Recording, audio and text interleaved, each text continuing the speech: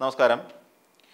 ചെറിയാൻ ഫിലിപ്പ് ഇപ്പോൾ P V Anvar M L A പിന്താങ്ങിക്കൊണ്ട് രംഗത്തെത്തിയിരിക്കുകയാണ്. നമുക്കറിയാം ചെറിയാൻ ഫിലിപ്പിന്റെ ഒരു രാഷ്ട്രീയ ജീവിതം എന്ന് പറഞ്ഞാൽ കുറച്ചു കാലം കോൺഗ്രസ് ആയിരുന്നു. അതിനുശേഷം സി പി എമ്മിലേക്ക് വന്നു. സി പി എമ്മിൽ നിന്ന് വീണ്ടും കോൺഗ്രസിലേക്ക് തിരികെ ചേക്കേറിയിരിക്കുകയാണ്. ഇപ്പോൾ കെ പി സി സിയുടെ വക്താവ് എന്നുള്ള നിലയിലാണ് അദ്ദേഹം നിലവിൽ പൊയ്ക്കൊണ്ടിരിക്കുന്നത്. അപ്പോൾ ചെറിയാൻ ഫിലിപ്പിനെ സംബന്ധിച്ചിടത്തോളം ചെറിയാൻ ഫിലിപ്പ് ഇതിന് വ്യക്തമായ ഒരു രാഷ്ട്രീയ ബോധമൊന്നുമില്ല. എങ്കിൽ പോലും അദ്ദേഹം നിലനിന്ന് പോരുന്നുണ്ട് എന്നുള്ളതാണ് നമുക്ക് മനസ്സിലാക്കാൻ കഴിയുന്നത്. ചെറിയാൻ ഫിലിപ്പ് ഈ P V Anvar M L എയുടെ ഈ നീക്കത്തെ അല്ലെങ്കിൽ ഈ തരത്തിലുള്ള പ്രസ്താവനകളെ കുറിച്ച് ഒരു ചെറിയ വിശദീകരണം നടത്തുന്നുണ്ട്. അദ്ദേഹം പറയുന്നത് ഈ പറയുന്ന P M P V Anvar M L എയുടെ ചുവട് പിടിച്ചുകൊണ്ട് ഇനി നിരവധി പേർ വരാനിരിക്കുന്നു എന്നുള്ളതാണ്. അപ്പം ഇതൊക്കെ ഏത് രീതിയിൽ നമ്മൾ ഉൾക്കൊള്ളണമെന്ന് അറിയില്ല. എങ്കിൽ പോലും P V Anvar M L A ഇപ്പോൾ ഉയർത്തിയിരിക്കുന്ന ആരോപണങ്ങൾ തികച്ചും വസ്തുനിഷ്ഠമാണ് എന്ന് ഒരു വിഭാഗം ആൾക്കാർ ചിന്തിക്കുകയും ഒരു വിഭാഗം ആൾക്കാർ എന്ന അതല്ല ശരി പാർട്ടിയാണ് ശരി സി പിണറായി വിജയനാണ് ശരി എന്ന് ചിന്തിക്കുകയും ചെയ്യുന്ന ഒരു വിഭാഗം ആൾക്കാരും അങ്ങനെ രണ്ട് തട്ടിൽ ഇപ്പോൾ സത്യത്തിൽ ജനങ്ങളുണ്ട് എന്നുള്ളതാണ് വാസ്തവം. അപ്പോൾ ഇതിനിടയിലേക്കാണ് ഇദ്ദേഹം പറയുന്നത്. P V Anvar M L A അനുകൂലിച്ചുകൊണ്ട് അദ്ദേഹത്തിന്റെ പാത പിന്തുടർന്നുകൊണ്ട് കെ ടി ജലീലും കാരാട്ട് റസാക്കും പി ടി റഹീമും ഒക്കെ പുതിയ പുതിയ ആരോപണങ്ങളും പുതിയ പുതിയ വിമർശനങ്ങളുമായി സർക്കാരിനെതിരെ തിരിയാനുള്ള സാധ്യത കാണുന്നുണ്ട്. കാര്യം ഇവരൊക്കെ എന്ന് പറഞ്ഞാൽ ഇടത് സ്വതന്ത്രന്മാരാണ്. സി പി എം സ്വതന്ത്ര കക്ഷികളാണ് എന്ന് നമുക്കറിയാം. അപ്പോൾ ഇവരുടെ ഭാഗത്തു നിന്നും ഇത്തരത്തിലുള്ള ഒരു നീക്കം ഉണ്ടാകും എന്നുള്ള വ്യക്തമായ സൂചനയാണ് ഈ ഈ പറയുന്ന ചെറിയാൻ ഫിലിപ്പിൽ നിന്ന് നമുക്ക് ലഭിക്കുന്നത്. അതോടൊപ്പം പിണറായിയുടെ ഏകാധിപത്യത്തിൽ പിണറായി വിജയൻ എന്ന് പറയുന്ന രാഷ്ട്രീയ നേതാവിന്റെ അല്ലെങ്കിൽ മുഖ്യമന്ത്രിയുടെ ഒരു ഏകാധിപത്യ സ്വഭാവത്തോടു കൂടിയുള്ള ഭരണക്രമമാണ്. അല്ലെങ്കിൽ ആ പാർട്ടിയെ പോലും അദ്ദേഹം അടക്കി ഭരിക്കുന്ന രീതിയിലാണ് എന്ന് ചെറിയാൻ ഫിലിപ്പ് ഒരു ഉന്നയിക്കുക ഒരു ആരോപണം ഉന്നയിക്കുന്നുണ്ട്. നമ്മൾ നോക്കിക്കഴിഞ്ഞാൽ നമുക്ക് മനസ്സിലാകും ഏറെക്കാലമായി പിണറായി വിജയൻ പറയുന്നതാണ് ശരി എന്നുള്ളതാണ് പലപ്പോഴും എം വി ഗോവിന്ദൻ മാഷ് പറഞ്ഞുകൊണ്ടിരിക്കുന്നത്. കാര്യം ഇതിന് ഒരു കാരണമായി ചെറിയാൻ ഫിലിപ്പ് ചൂണ്ടിക്കാട്ടുന്ന ഒരു കാര്യം കഴിഞ്ഞ ദിവസം തന്നെ എം വി ഗോവിന്ദൻ മാഷിന്റെ ഒരു എം വി ഗോവിന്ദൻ മാഷിനെ കുറിച്ച് ചെറിയ ഇദ്ദേഹത്തിന്റെ പി പി വി അൻവറിന്റെ ഒരു ആരോപണമുണ്ടായിരുന്നു. അതായത് ഇപ്പോൾ എം പി ഗോവിന്ദൻ മാഷ് ഒരു പാർട്ടിയിലെ സൈദ്ധാന്തികൻ എന്നുള്ള നിലയിൽ അറിയപ്പെട്ടുകൊണ്ടിരുന്ന ഒരു കാലഘട്ടമായിരുന്നു കഴിഞ്ഞു പോയത് അതിനുശേഷം കോടിയേരി ബാലകൃഷ്ണന്റെ മരണം നടക്കുന്നു. കോടിയേരി ബാലകൃഷ്ണന്റെ മരണത്തിന് ശേഷം ഇദ്ദേഹം പാർട്ടി സെക്രട്ടറിയായി എം പി ഗോവിന്ദൻ മാഷ് വരുന്നു. പക്ഷേ എം പി ഗോവിന്ദൻ മാഷിനെ സംബന്ധിച്ചിടത്തോളം പലപ്പോഴും പലതും ന്യായീകരിക്കേണ്ടി വരുന്നു എന്നുള്ളതാണ് അൻവറിന്റെ ഒരു പ്രധാനപ്പെട്ട ആരോപണം. അതായത് എം പി ഗോവിന്ദൻ മാസ്റ്റർ ഗതികേട് കൊണ്ട് പാർട്ടിയെ പലപ്പോഴും പല തെറ്റുകുറ്റങ്ങളെയും ന്യായീകരിച്ച് മുന്നോട്ട് പൊയ്ക്കൊണ്ടിരിക്കുന്നു എന്നുള്ളതാണ്. അപ്പോൾ ഇതിനെ ചൂണ്ടിക്കാട്ടിക്കൊണ്ടാണ് അതുകൊണ്ട് അതിന്റെ പ്രധാന കാരണം എന്ന് വെച്ചാൽ ഒരു പക്ഷേ പാർട്ടിയിൽ പിണറായി വിജയൻ എന്ന് പറയുന്ന മുഖ്യമന്ത്രി നടത്തുന്ന ഏകാധിപത്യ സ്വഭാവത്തോടു കൂടിയുള്ള ഒരു ഭരണക്രമമായിരിക്കാം. ആ- സാഹചര്യത്തിൽ ഈ പറയുന്ന ഏകാധിപത്യ സ്വഭാവത്തിൽ ശരിക്കും അസന്തുഷ്ടരായി ഒരു വിഭാഗം പാർട്ടി പ്രവർത്തകരുണ്ട്. അവരിൽ പ്രധാനികളാണ് നമുക്കറിയാവുന്ന പോലെ ഇ പി ജയരാജനുണ്ട് എം എ ബേബിയുണ്ട് തോമസ് ഐസക് ഉണ്ട് അതോടൊപ്പം ചെറിയ നമുക്കറിയാവുന്ന ഇ പി എളമരം കരീമുണ്ട് ജി സുധാകരനുണ്ട് പി ജയരാജനുണ്ട് ശൈലജ ടീച്ചറുണ്ട് പി കെ ശ്രീമതിയുണ്ട്.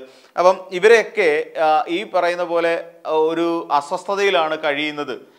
കാര്യം ഒരു ഏകാധിപത്യ സ്വഭാവമുണ്ട്. തങ്ങൾക്ക് വേണ്ടതൊന്നും ഇവിടെ കിട്ടുന്നില്ല.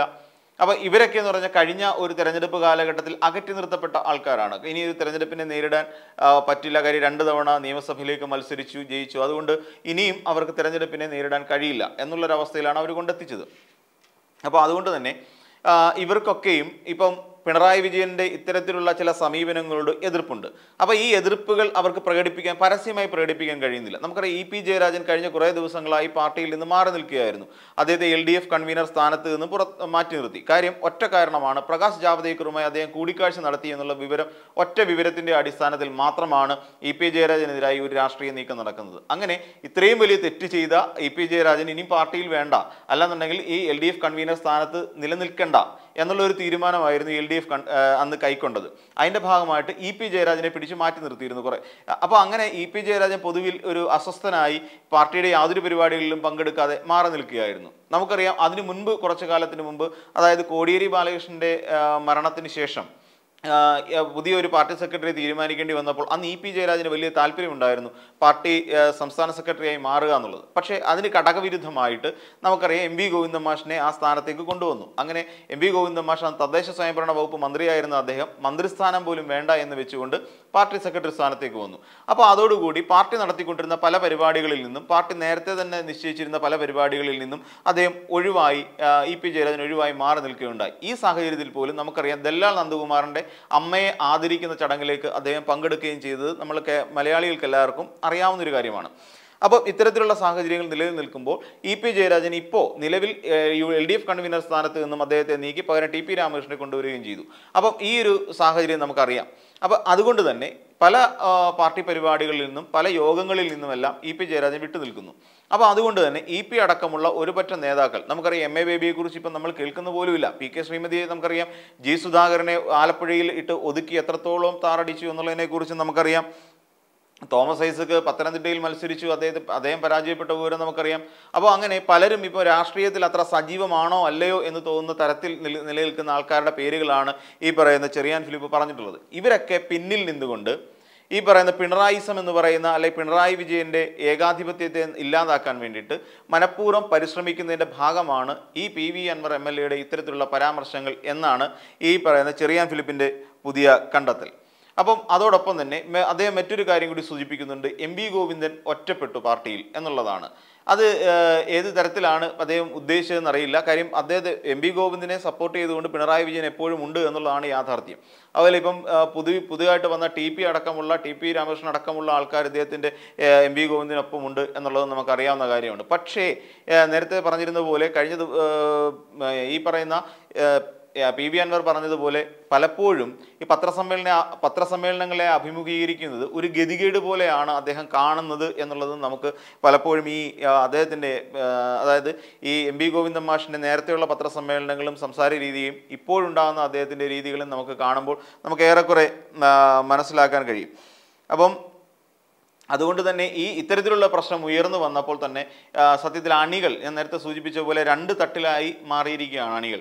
അവർ വിശ്വസിക്കുന്നവരും വിശ്വസിക്കാത്തവരും എന്ന് പറയുന്ന തട്ടിലേക്ക് മാറിയിരിക്കുകയാണ്. എന്നാൽ വിശ്വസിക്കുന്ന പാർട്ടിയെ വിശ്വസിക്കുന്ന അതുമല്ലെങ്കിൽ മുഖ്യമന്ത്രിയെ വിശ്വസിക്കുന്ന ഒരു വിഭാഗത്തിനിടയിൽ പോലും ചെറിയ തരത്തിലുള്ള സ്പർദ്ധയും ഉണ്ടാകുന്നുണ്ട് എന്നുള്ളതിനെക്കുറിച്ചും ചെറിയാൻ ഫിലിപ്പ് സൂചിപ്പിക്കുന്നുണ്ട്. അതിനിയും വരാൻ പോകുന്ന പാർട്ടി സമ്മേളനങ്ങളെയെല്ലാം ഇത് ഏത് തരത്തിൽ ബാധിക്കും എന്നുള്ളതാണ് നമ്മൾ കണ്ടറിയേണ്ടത്. ബ്രാഞ്ച് സമ്മേളനങ്ങളാണെങ്കിലും ബ്രാഞ്ച് മുതൽ ഇങ്ങനെ സംസ്ഥാന സമ്മേളനം വരെ നീണ്ടു നിൽക്കുന്ന ഒരു വലിയ ഒരു പ്രക്രിയ പാർട്ടിക്കുള്ളിൽ ഉണ്ടാകേണ്ടതുണ്ട്.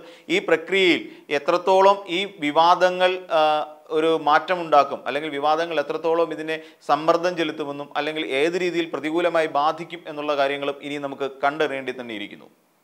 ഈ വീഡിയോ നിങ്ങൾക്ക് ഇഷ്ടമായാൽ ലൈക്ക് ചെയ്യുക. കൂടുതൽ വീഡിയോകൾക്കായി യോഗനാഥം ന്യൂസ് ചാനൽ സബ്സ്ക്രൈബ് ചെയ്യുക.